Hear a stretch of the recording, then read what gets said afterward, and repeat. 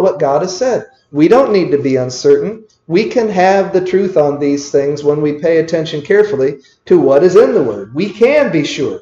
Now, Luke also wrote Acts. So turn over to Acts chapter 1 and verse 3. Acts chapter 1 and verse 3. And there we're going to see what, uh, what Luke has told us there. At the beginning of that book, it says, The former account I made, O Theophilus, of all that Jesus began both to do and teach, until the day in which he was taken up, after he, through the Holy Spirit, had given commandments to the apostles whom he had chosen, to whom he presented himself alive after his suffering by many infallible proofs, being seen by them during forty days, and speaking of the things pertaining to the kingdom of God.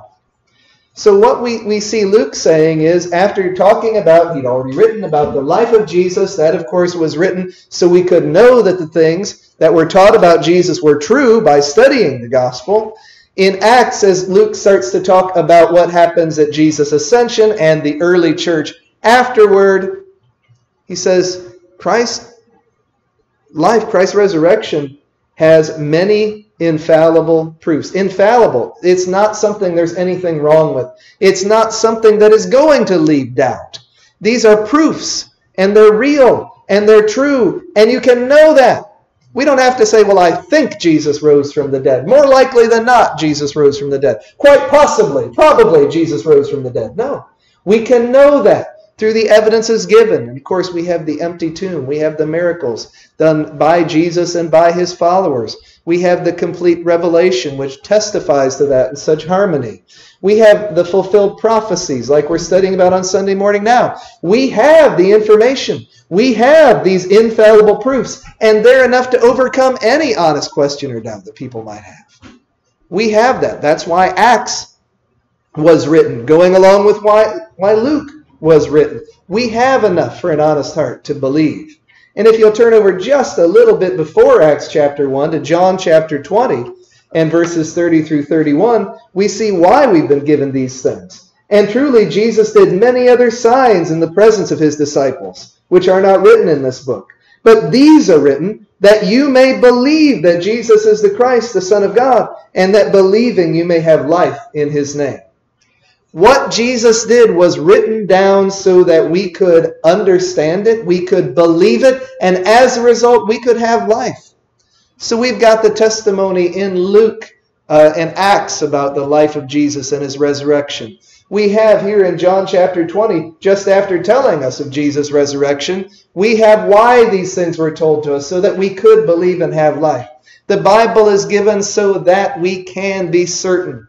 And the Bible does not ask us, well, be certain about this because I'm telling you this without any evidence. No. Many infallible proofs. His actions recorded. These things written by eyewitnesses. The Bible gives us evidence so that we can know. We can believe. And believe not based on a whim or a feeling, but on what God has shown us in His Word. That's what we see in the Bible. And as we see three of the first books of our New Testaments, it tells us that. It makes it very clear. But also in the Old Testament, we can see similar things said about God and His Word. Look with me, please, at 2 Samuel chapter 22 and verse 31.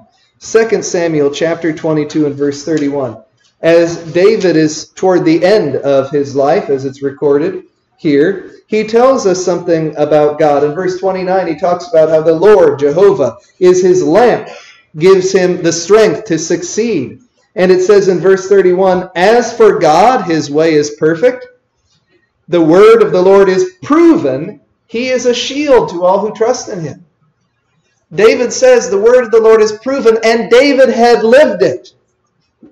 Had David not believed in the promises of God, he is not going to that brook and getting five small stones and facing Goliath without believing that, yes, the word of God is proven. And when David had faith, he did receive the reward for that faith. He was able to succeed because God gave him strength. He believed in the proven word of God and he was able to find success because of it. We can have certainty if we have the kind of faith that David did.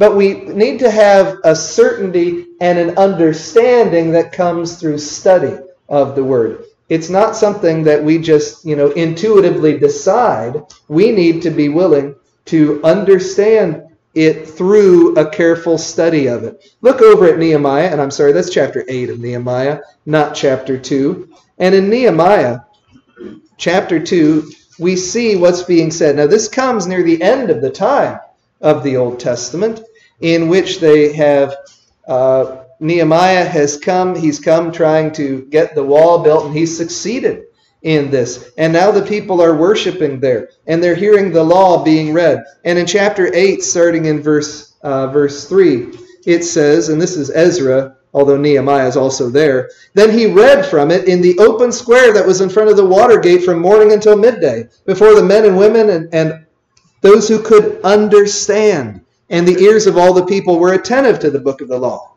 Who came there? In verse 2 and 3, it shows us all who could hear with understanding. Men coming, women coming. With that, we would, I would assume, also older children, would be there. Everybody who could understand was there, and everybody who could understand needed to understand. Not only that, but those who are reading were helping people understand. In verse 8, so they read distinctly from the book in the law of God, and they gave the sense and helped them to understand the reading. So there were those who were reading who were helping others understand they were going to listen to what God was saying and they were they pleased him when they did what he said. They were helped to understand, they understand, they took it seriously and they obeyed. Does this mean that they never had the opportunity to fall away? Well, they had that opportunity, and not all of them did all that they should have done. But we do see that they were given the opportunity to understand through a careful hearing of God's word. Look over with me at Psalm 119, the 119th Psalm, and look at that psalm in which so much is said about the Word of God. In Psalm 119, 104, we see an important principle given us about understanding God's Word. Psalm 119, verse 104 says, Through your precepts I get understanding, therefore I hate every false way. The psalmist could know what was true and what he needed to understand through God's precepts given in his word. And because of it, he hated what was wrong. It wasn't just that I'm going to believe this, but I'm not going to stand against anything else. No, he knew what was right and he knew what was wrong, certain about both, from God's word. We live in a society where they people want to say, well, it's okay to be to think you're right, but you better not think anybody else is wrong. Well, I don't want to go hating people. I don't want to go threatening people. But if people are wrong about things that affect their eternal salvation, love should compel me to try to help them understand that. Doesn't mean I'm hateful, but it does mean that I take the word of the Lord seriously and try to help others. Now, right after verse 104, where he talks about understanding through God's precepts, right after that in verse 105, it says, Your word is a lamp to my feet and a light to my path. If you walk around in the dark very much, well, if you walk around too much in the dark, you're probably going to bump into things or trip over things, right? But if you have a light, then you can go around with confidence. God's word is the confidence. We don't have to be uncertain. If you ever walked around a dark room, you might start feeling around. Now, where's the wall? Where's the knob? Where's the switch? Where's the corner of the bed so I don't jam my toes on it and so forth? You know that that's, you feel uncertain a good bit. With God's word, we can have the kind of certainty that we need. And just a few more pages from there is Proverbs chapter 2. It becomes clear that a godly wisdom, a biblical wisdom, comes from those who make the effort to understand God's word. It says, My son, if you receive my words and treasure my commands within you, so that you incline your ear to wisdom and apply your heart to understanding. Yes, if you cry out for discernment and lift up your voice for understanding. If you seek her as silver and search for her as for hidden treasures, then you will understand the fear of the Lord and find the knowledge of God. It doesn't come from, you know, sitting around and trying to let it wash over you while you're doing something else. It doesn't come from, you know, halfway attention. It doesn't come from casually every so often hearing a little bit. It comes from attention.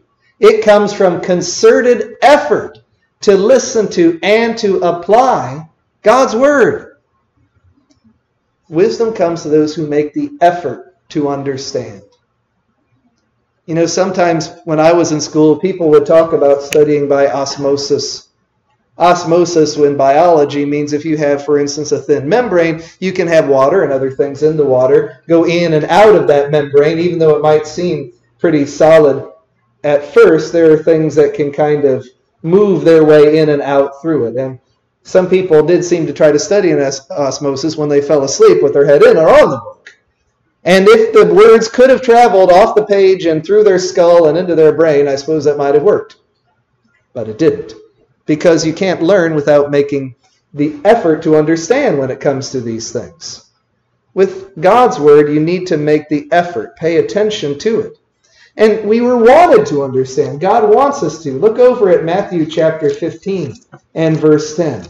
What Jesus said here fits with what he says afterward. He says in verse 10 When he had called the multitude to himself, he said to them, Hear and understand. Now think about what Jesus is saying. He says you need to listen, but you can understand when you listen. And that goes on throughout the context here. If you look at verse 11, he, he says something that at first is not easy to understand. Not what goes into the mouth defiles a man, but what comes out of the mouth, this defiles a man. Well, that's different than what some of them were expecting. And they thought of cleanliness and defilement in terms of, of the various things that we might see in parts of Leviticus, for instance, what's going to be clean and what's going to be unclean. But Jesus says there's something much more than that what you come what comes out of your mouth comes from your heart. If you have a heart that is clean spiritually? That is going to be key to being clean in all of the other ways. And Jesus, of course, was bringing a new covenant in which pork would not make you unclean if you ate it. But having the wrong attitude of heart under each covenant especially though Jesus emphasizes this under the New Testament, would make you unclean if you are going to harbor that kind of evil in your heart. If you are going to have bitterness and grudges and evil thoughts about others. If you are going to keep these things in your heart, eventually they would come out of your mouth and may issue in gossip or slander or hateful speech in other ways. So, what's in your heart makes you unclean in the more important and lasting way is what Jesus says here.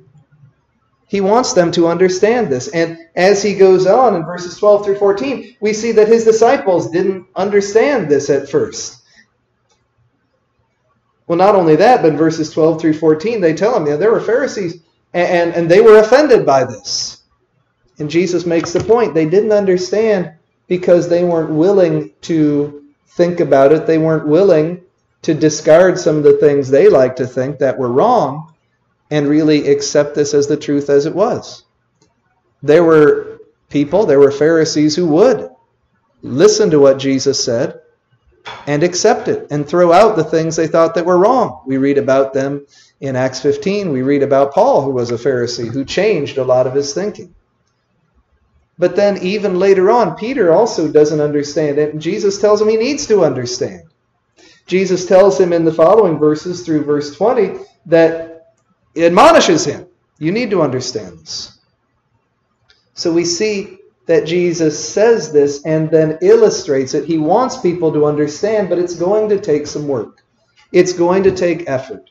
It's going to take examining carefully what is said. If you're willing to do all those things, then you can understand God's word. But if you're only willing to look at the verse 11 or so forth and say, huh, I don't know what that means, and then go off like it doesn't matter, then you're not going to understand God's word. It takes effort. Look over at John chapter 8 and verse 43. When Jesus is having a discussion, when he is even being opposed by some of the same kind of people, Pharisees, that we read about over here in Matthew 15, in John chapter 8, verse 43, he tells them what the problem is, why they don't understand. He says, Why do you not understand my speech? Because you are not able to listen to my word. It wasn't that their ears were the problem. It wasn't that they didn't know the language, but they weren't willing to discard the things that were wrong in favor of the things that were right when Jesus showed that to them. The lack of understanding came from an unwillingness to listen fully. Do you listen? Do we listen to God's word? Do we listen in a way that lets it come in, that we think about it deeply and allow it to become a part of us? Does it have our attention throughout our lives? When we're reading it at home, sure. When we're here studying, sure. But as we go about our lives, are we thinking about how do I make application of this? What is this telling me? You know, if we're influenced by the world, let's say we're influenced by the world to believe that there is no absolute truth. But we start listening to what Jesus said, and when we think about it, we realize that Jesus is saying something different. And what Jesus says has a lot better evidence than the people who say there's no absolute truth but seem to think that the only absolute truth is that there is no absolute truth, which doesn't make sense. We've got to be willing to listen carefully and make application. And even things that God has revealed to us that we couldn't have known on our own. They can be understood because he's revealed them to us. We have to look to him for that understanding. Look over at Ephesians chapter 3 and verses 3 through 6. Paul's going to talk about the mystery of God here. Now, the mystery of God wasn't something that someone who was really smart or really clever would just get on their own, would just think of on their own, but it was something that God had given from his word that they needed to understand. He says this in starting in verse 3 of Ephesians 3. How that by revelation he made known to me the mystery, as I have briefly written already, by which when you read you may understand my knowledge in the mystery of Christ, which in other ages was not made known to the sons of men, as it has now been revealed by the Spirit to his holy apostles and prophets, that the Gentiles should be fellow heirs of the same body and partakers of his promise in Christ through the gospel. There was something new that was being revealed in Christ, and it was that the Gentiles were going to be part of God's body of people just like the Jews. Now, this was a surprise to a number of people because they had grown up having it emphasized to them, you know, we're the Jews, we follow God's law, they're the Gentiles, they don't. And it was easy to let that become sort of a, a prejudice against them that would be a long lasting thing. It was easy, of course, to think that if they were obeying the law now, that they weren't going to obey the law, or that they never would obey the law. But that's not what God was saying. There were in the Old Testament references to people in various places listening to God's word and coming to him. So there were there were things that of course fit with what was being revealed in Christ very well, but it was something that was not made known until Christ made it known. That he died so that all could be one in him, as chapter 2 of Ephesians discusses at length. And so Paul says, this is something that God revealed through his word, and when you listen when you are willing to think about this and study this, then you can understand what God has said. If you weren't willing to put in the effort, you wouldn't understand this. But Paul says you can. God has made it so that you can, even though it wasn't revealed before and people couldn't have come up with this on their own. You can understand it when you look carefully at what is being taught and make it a part of your life. So we can be certain of that truth. We can because God makes it so that we can understand it and we can know what he wants us to know. And we can be certain of it. Look over with me, please, at Hebrews chapter 4, because our third point is that the word that God has given us has the power to tell us what we need to know about God's word and about our own obedience or disobedience to God's word if we apply it carefully. So in Hebrews chapter 4, verse 12, it says, For the word of God is living and powerful and sharper than any two edged sword, piercing even to the division of soul and spirit, and joints and marrow, and is a discerner of the thoughts and intents of the heart. And there is no creature hidden from his sight, but all things are naked and open to the eyes of him to whom we must give account. God's word is a tool. It is a precision instrument beyond any precision instrument that man might have and use in medicine or other ways. It will show us the truth and it will show us whether we have obeyed that truth or not if we listen to it and if we apply it. If we, as we'll see, if we don't do anything with it, it's not going to help us.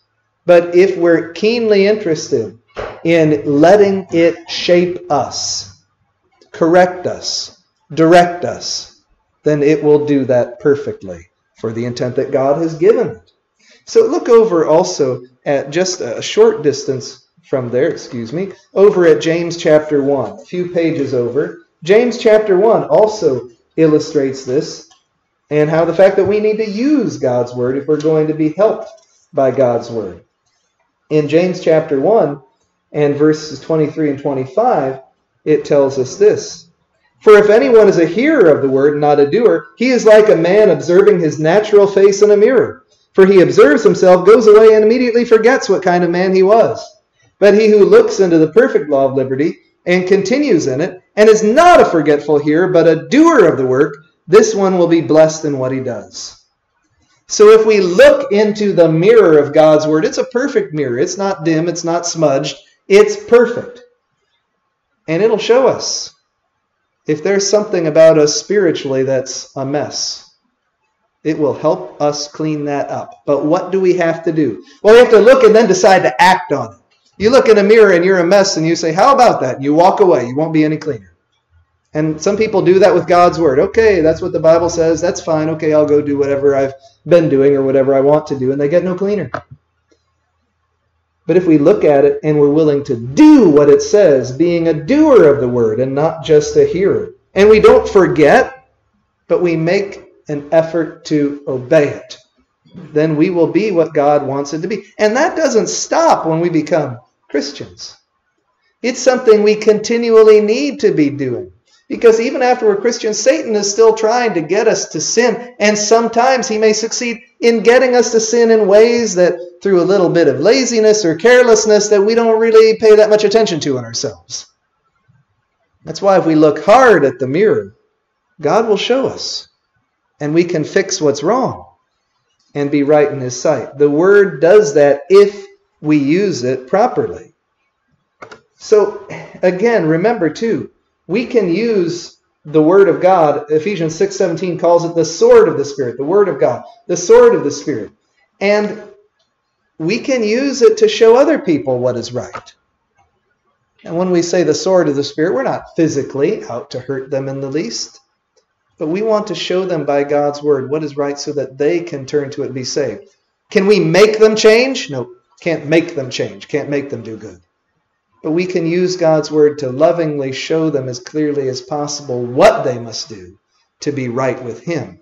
Look over at 2 Corinthians chapter 10 and verses 4 and 5, please. 2 Corinthians chapter 10 and verses 4 and 5. There we read this For we are not overextending ourselves, as our authority did not extend to you. I'm sorry, that's chapter, there's verse 14, verses 4 and 5 in chapter 10. For the weapons of our warfare are not carnal, but mighty in God for pulling down strongholds, casting down arguments, and every high thing that exalts itself against the knowledge of God, bringing every thought into captivity to the obedience of Christ. We think about looking at a mirror, like we talked about in James, and we, we're looking at ourselves in the mirror usually. And the Word of God can help us cut away what is wrong and keep what's right. But the Word can also fight against the false arguments that people make. When people want to claim various things in this world that are not true, we have the Word of God and we can use it and we can show what really is right against the false arguments that are being made whether it's by the false arguments of false teachers or the false arguments of, of, the popular psychology of the world people believe what is convenient for them or believe what makes them feel good in the short term instead of what's really right and helps in the long term, we can defeat those arguments. We can defeat those arguments in the world and we can defeat them within ourselves if Satan is trying to convince us of these things. The word, the word helps us detect and destroy the false arguments. And over in chapter 13 and verse 5, Paul says, Examine yourselves as to whether you are in the faith. Test yourselves. Do you not know yourselves that Jesus Christ is in you, unless indeed you are disqualified? If people are not finding the errors that they have, if Christians are not finding the errors that they have within themselves, then they're not using the word fully and properly. We can know the truth. We can know whether we're, what we're doing is right or wrong, and we can be pleasing to God in that way. The word is a diagnostic tool. And the word is even much better than some of the diagnostic tools we think about. You know, you have a stethoscope at the doctor's office. Listen to that heartbeat. That's great. It's a good tool. It's a simple tool. It's a painless kind of tool to use. It's a good thing, but it's not going to fix anything. The Word of God does. It goes beyond diagnosis to actually solving the spiritual problems that we have.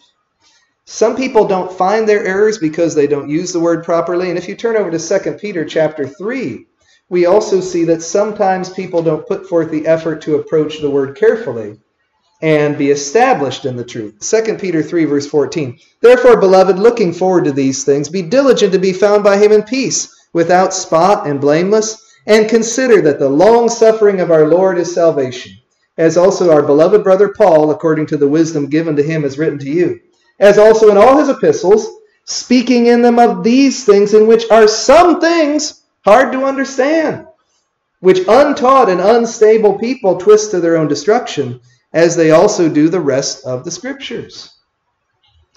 If we don't make an effort to ensure we're using the scriptures properly, we could end up misleading ourselves and others from 2 Peter chapter 2. And there are some things that are going to be hard. They're not going to be easy. It's not something that you're going to resolve in five minutes or less.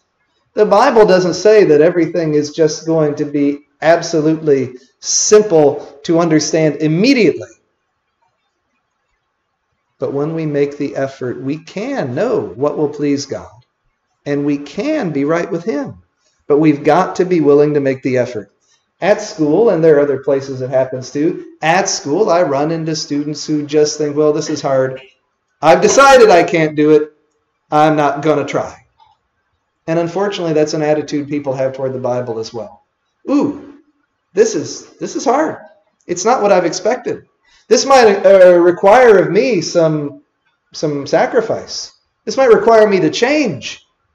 This might require me to dig deeper and understand what God really wants me to do. Wow, that sounds like a lot of work. Well, I, am sure it doesn't matter. And they don't change. But we can have that attitude if we want to please God. We know that God loves us. We know that God sent his son to die for us. We know that God's given us a perfect revelation. And the least we can do is spend time with it, build ourselves up in it, and try to please God to the best of our ability as a result of reading it. At the beginning of 2 Peter, at the very beginning, it tells us just how sufficient this word is. It's enough for all our needs spiritually. It says in verse 2 of 2 Peter 1 Grace and peace be multiplied to you in the knowledge of God and of Jesus our Lord, as his divine power has given to us all things that pertain to life and godliness, through the knowledge of him who called us by glory and virtue by which have been given to us exceedingly great and precious promises, that through these you may be partakers of the divine nature, having escaped the corruption that is in the world through lust.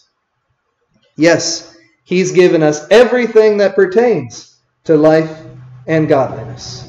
We have what we need. We can know about Jesus. We can know the Word. We can claim the promises when we obey carefully what He has said.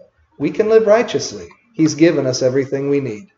But we see over in Acts chapter 8 that there was someone there who knew some things but really didn't understand because he didn't have all the information that he needed. In Acts chapter 8 and verse 30, we read about an Ethiopian who is traveling back from Jerusalem and he has Isaiah with him.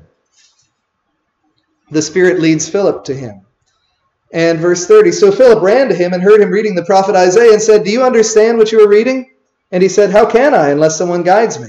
And he asked Philip to come up and sit with him. So, what did Philip do at that point? He preached Jesus to him. And when he had preached Jesus for him in a few verses later, we see him saying, Look, here's water. What keeps me from being baptized? So many people today in the world say, "Oh, you know, we just can't really understand what God wants us to do," or we can understand it, and, and we're sure that you don't need to do anything more than just believe. But that's not what this man said when he had someone who'd been brought to him by the Holy Spirit helping him understand Isaiah. He was reading a prophecy, but what was it a prophecy of? So he needed to know about Jesus. And Philip preached Jesus. And this man who was interested in what God had said in Isaiah learned about the Savior who had come to the earth, who had been like that sheep, who had been slaughtered, who had been killed as a sacrifice for the sins of mankind, who had died on the cross. For Philip, for the Jews, and for this man, and for everyone who would obey him. And when he did that, when he knew about Jesus and his sacrificial death, when he understood what God wanted him to do as a result of that, he was ready. Here's water. What keeps me from being baptized? And he was baptized, and he went on his way rejoicing. That's available to us today. If you don't know what the gospel says, then please, even today, let us take the time to talk with you about it. Begin learning about what God has said. There's nothing more important to know than that. Or if you have understood what Jesus did and, and what it means, and you realize, I'm not a Christian, but I need to do what this Ethiopian man did. I need to be baptized for the forgiveness of my sins, as it talks about many other places in the New Testament. Then we'd be happy to do that for you as well. Because you can be sure, you can know, and you can obey. God's word makes it so. Could we help you today? Can we teach you more about God's will? Can we, if you understand Jesus' sacrifice, baptize you after you've believed and you've turned from your sins and you're willing and you're confessing Christ? Could we then baptize you for the forgiveness of your sins so that you could be a Christian and follow Him? Or could we help you in any other way spiritually to help you be right with God today? If we can, then please come to the front as we stand and sing.